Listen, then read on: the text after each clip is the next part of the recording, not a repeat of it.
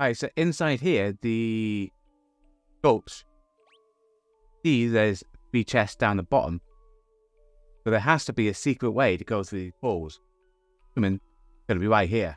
Yes.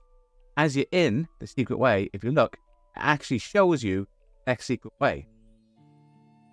Here. Aha! Now we get three chests. Fire rod, ice rod, and a mage's robe. Nice.